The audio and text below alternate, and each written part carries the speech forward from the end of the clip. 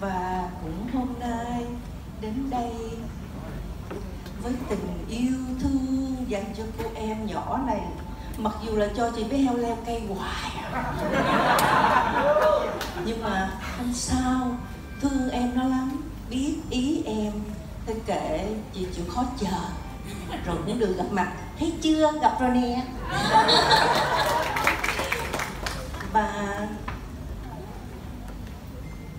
thôi thì hát một hai câu nha một hai câu